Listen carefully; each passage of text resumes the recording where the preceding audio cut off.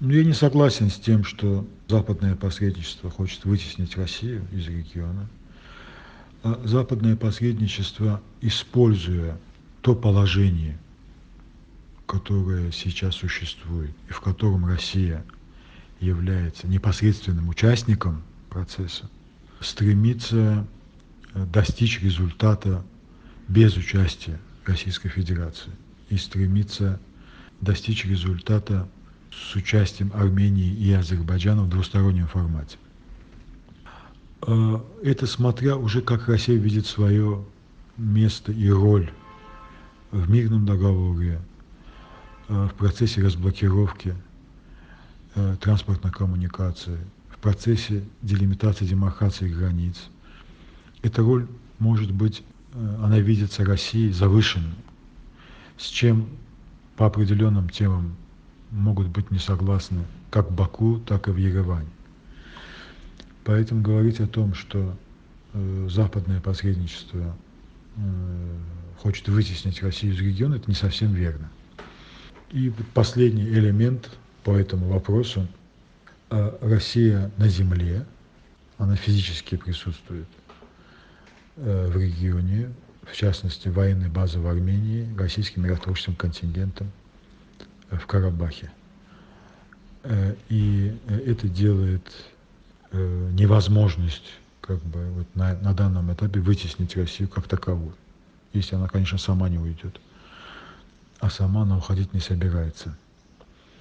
Но есть про антироссийскую информационную кампанию. Ну, э, в Армении существуют э, политические силы, они внепарламентские, которые осуществляют эту деятельность, с которыми Пашинян ведет диалог в формате общения премьер-министра Армении с непарламентскими политическими силами.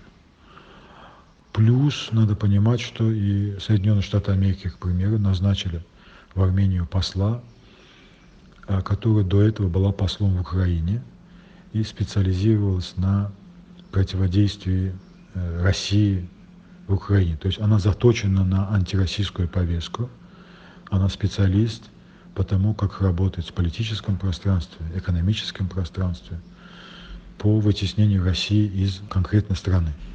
Ну, за примерами далеко идти не надо. После того, как Роспотребнадзор ввел ограничительные меры против молочной продукции Армении, это было где-то дней 10 тому назад, посол Соединенных Штатов Америки в своем твиттер-аккаунте разместила фотографии, как она пробует э, сыры, э, то есть молочную продукцию в Армении и говорит о том, что она очень высокого качества. То есть это все показатель того, что посольство Соединенных Штатов Америки во главе с послом осуществляет вот эту э, деятельность по вытеснению или же дискредитации, использованию противоречий между Ереваном и Москвой в своих целях.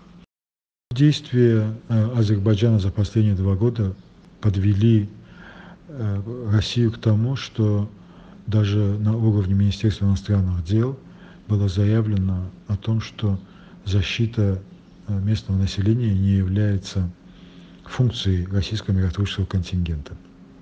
То есть тот нарратив, который внедрялся в течение нескольких лет о том, что Россия там, чтобы защитить армян Карабаха, он не нашел своего отражения, к примеру, э, в мандате российского миротворческого контингента, который не подписан, которого нет, и в функционале. Фактически Э, ответственными российский миротворческий контингент является только на, по трехстороннему заявлению, это контроль за Лачинской дорогой, который осуществляется не в полном объеме э, из-за экологической акции значит, азербайджанских их активистов. Вот, в принципе, основные элементы. То есть они хотели быть спасителями Карабахских, но этого не получилось. Что касается раздачи паспортов, но это один из сценариев развития событий.